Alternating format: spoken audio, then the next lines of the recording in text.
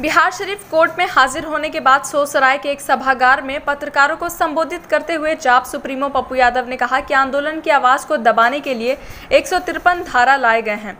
उन्होंने सत्ता पक्ष पर आरोप लगाते हुए कहा कि एसडीओ दरोगा मजिस्ट्रेट इन धाराओं को अपने तरीके से इस्तेमाल करते हैं और गलत एफआईआर दर्ज कर परेशान करते हैं।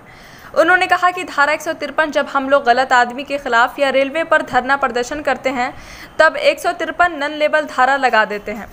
ये दोनों कानून की समीक्षा होनी चाहिए। ये परेशान करने का विरोधियों का सबसे बड़ा हथकंडा बन गया है। आंदोलन की आवाज़ दबाने के लिए एक सौ तिरपन धारा लिया है। और उसी तरह सरकार और जो सत्ता पक्ष है, अपने तरीके से एसडीओ दरोगा वीडियो को इस्तेमाल करती है, मजिस्ट्रेट बना और गलत केस, आचार संहिता जैसी चीज़ों की रिव्यू होनी चाहिए।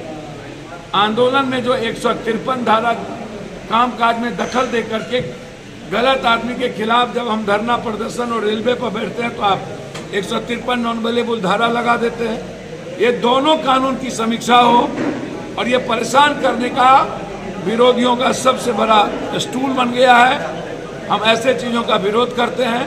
न्यायालय का सम्मान के लिए हम आज कोर्ट मुखिया जी को जो तो उनको मुक्का आपने हमारे YouTube चैनल को सब्सक्राइब नहीं किया है तो जल्द सब्सक्राइब करना और बेल आइकन को प्रेस करना ना भूलें।